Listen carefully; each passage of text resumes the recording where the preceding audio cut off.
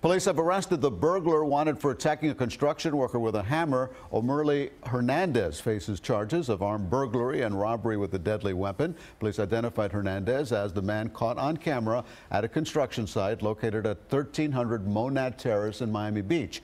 He appeared to be disguised as a construction worker at the time. He walks around the parking lot, then runs away from the scene and drives off with stolen tools.